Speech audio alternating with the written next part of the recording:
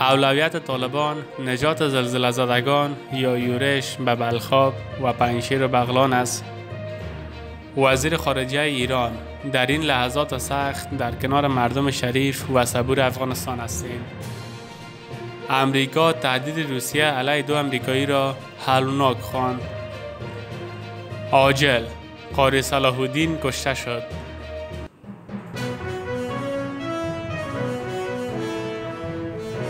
سلام دوستان به مجموعه خبری کانال جندال انفو خوش آمدید. در حالی که بیش از 2500 نفر در نتیجه زلزله در افغانستان کشته و زخمی شدند و نیاز شدید به کمک دارند گروه طالبان آغاز به فرستادن نیرو به بلخاب برای سرکوب یک تن از فرماندهان هزار تبار جدایی طلب گروه خودش زده است به نقل از اطلاعات روز منابع محلی تایید می کنند که طالبان از چهار سمت به ولسوالی بلخاب ولایت سرپل نیرو فرستاده است و هر لحظه امکان آغاز درگیری در این ولسوالی متصور است. با گفته منابع این نیروها از سمت فاریاب بلخ مرکز سرپل و بامیان به بلخاب اعزام شدند منابع همچنین می‌گویند که مذاکرات میان هیئت طالبان به ریاست عبدالله سرحدی والی بامیان و هیئت از طرف مولای میدی به شمول خود او به نتیجه نرسیده است.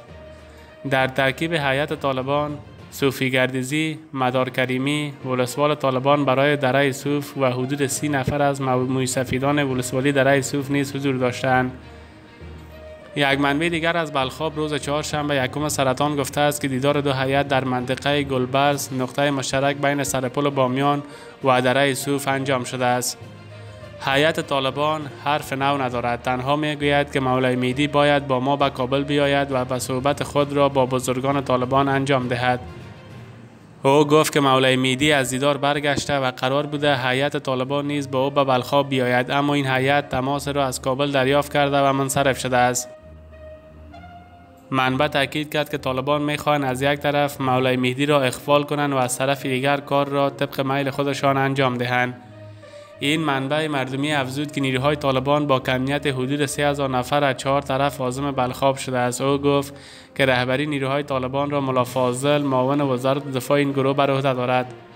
با گفته او شمار از والیان طالبان برای ولایت شمال از جمله فاریاب و شمال نیز به ملا پیوسته است. منبع افزود که قاری فسیو رئیس ستاد ارتش طالبان نیز امروز با چرخبال بر فضای ولسوالی بلخاب گیزنی کرده است.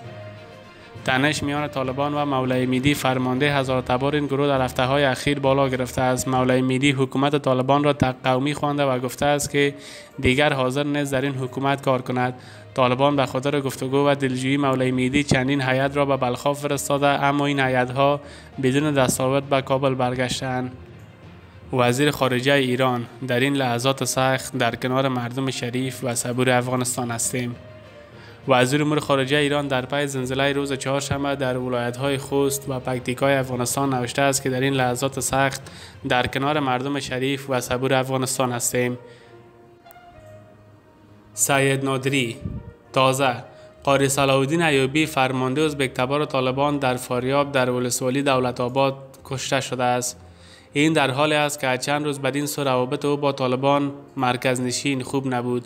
و چندین بار هم درگیری های در نقاط مختلف شهر میمنه مرکز ولایت فاریاب داشته است. او در ادامه نوشته است اگر دیگر اقوام غیر پشتون متوجه اشتباهشان نشوند که به چی گروه اشتباه اعتماد کردند به سرنوشت این شخص دچار خواهند شد. امریکا تهدید روسیه علیه دو امریکایی را هلوناک خواند. ایالات متحده روز سه شنبه گفت که تهدید کرملین در برابر دو شهروند ایالات متحده که هنگام جنگ بر ضد قوای روسیه در اوکراین دستگیر شدند هولناک است. روسیه گفته است که این دو شهروند امریکا که در جنگ اوکراین بر ضد قوای روسی دستگیر شدند ممکن به مجازات اعدام محکوم شوند. جان کربی سخنگوی قصد سفید به خبرنگاران گفته است که چنین تهدید روسیه هولناک است که یک مقام حکومتی آن کشور پیشنهاد مجازات اعدام را به دو شهروند امریکایی کند که در اوکراین بودند. کربی افزود که دو شهروند ایالات متحده که توسط قوای روسیه در اوکراین دستگیر شدند بر اساس کنوانسیون ژینو در مورد اسیران جنگی محافظت می شوند کنوانسیون ژینو اعدام شکنجه و سوی رفتار علیه اسیران جنگی را منع قرار داده است. این مقام قصد سفید گفته است که کرملین با این نظاراتش حداقل بی‌پروا بوده است. کربی گفت صرف نظر از اینکه نیت مقامات روسیه در مورد اعدام احتمالی در شهروند ایالات متحده چی است و چی نتایج را در پی خواهد داشت طرح چنین موضوع توسط یک قدرت بزرگ هشدار دهنده است. بر اساس گزارش رسانه ها دو شهروند ایالات متحده که در اوایل ماه جون توسط قوای روسیه در شرق اوکراین اسیر شدند نظامیان پیشین امریکا بودند. پس از تهاجم نظامی روسیه بر اوکراین شمار نامعلوم شهروندان خارجی به شمول امریکایی ها به اوکراین رفتند و در کنار نیروهای اوکراینی بر ضد قوای روسی می جنگند. اوکراین یک واحد بین المللی را ایجاد کرده است که از طریق آن داوطلبان با درجات مختلف آموزش نظامی قبلی را میپذیرد. اکثر این داوطلبان به خطوط اول جبهه بر ضد قوای روسی اعزام می‌شوند. بر اساس گزارش ها شمار از این داوطلبان کشته اسیر و یا ناپدید شدند در همین حال وزارت خارجه ایالات متحده روز سه شنبه تاکید کرد که دومین شهروند امریکا استفن زابلینسکی 52 ساله در جنگ اوکراین کشته شده است.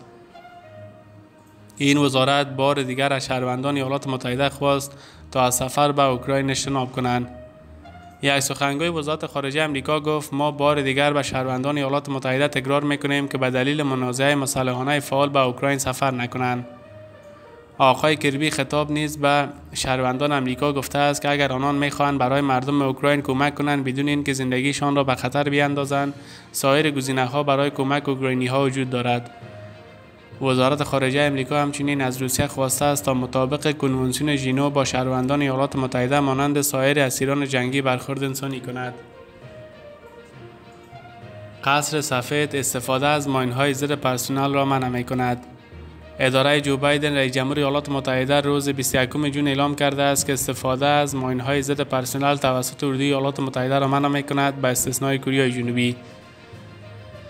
قصر سفید با این اقدام سیاست این کشور را با پیمان بین المللی من استفاده از ماین ضد پرسنل همتراز می سازد این تصمیم مخالف موقف دونالد ترامپ رئیس جمهور پیشین امریکا است که در سال 2020 تولید و استفاده از این نوع ماین ها را مجاز قرار داده بود. در بیانیه قصر سفید آمده است که با این اقدام استفاده تولید ذخیره و انتقال ماین های ضد پرسنل منع خواهد شد. با آن هم تحت یک پالیسی جدید ایالات متحده از این نوع ماینها برای دفاع از کوریای جنوبی در مقابل تهاجم بالقوه کوریای شمالی استفاده خواهد کرد. اقدام که امریکا را از تطابق با کنوانسیون 1997 اوتاوا اندک دور می سازد این در حالی است که روسیه در جریان تهاجم بر اوکراین از ماینهای ضد پرسنل کار می‌گیرد. آدریان واتسون سخنگوی شورای امنیت ملی امریکا گفت که این نوع ماینها در اوکراین به غیر نظامیان آسیب رسانیده است. در جریان تهاجم روسیه بر افغانستان نیز از های ضد پرسنل به گونه گسترده استفاده شد که پس از گذشت چند دهه هنوز هم از مردم این کشور قربانی می‌گیرد.